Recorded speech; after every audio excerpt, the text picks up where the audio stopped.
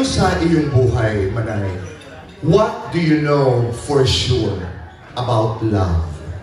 Love at this age? Diyos ko naman, Manay, oo naman, dami ng iyong pinagdaanan. Kaya I can imagine your point of view about love. Pag-ibig, Manay. Pag-ibig? Oo naman. God. Sasabihin pa ba natin kung sino-sino ako na? Naku, ang dami nun. ha? Marami.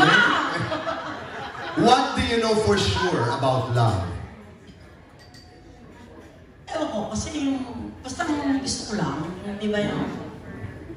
Basta ako kasi yung, kung ano pakita mo sa akin, yan ipapakita ko sa'yo. Di ba? Ah, pakita mo mahal mo ako, papakita ko yung mahal kita. Pakita mo ayaw mo sa akin, ayaw din kita. Ganun. Basta whatever you show me, yun din ang papakita ko sa'yo. I I get that. Pero doon sa romantic love, Manay, Romantic at may Oo naman, nagbabalik lang naman tayo. Nagbabalik tanaw tayo. May panahon ba na talagang ikay nawala sa iyong sarili dahil sa pag-ibig? Yeah! Parang hindi ko na ano. Naghabol ka ba sa isang lalaki, Manay? Meron, Manay? Parang pinayaran ko. Ginastahan ko. Hindi nga, Manay.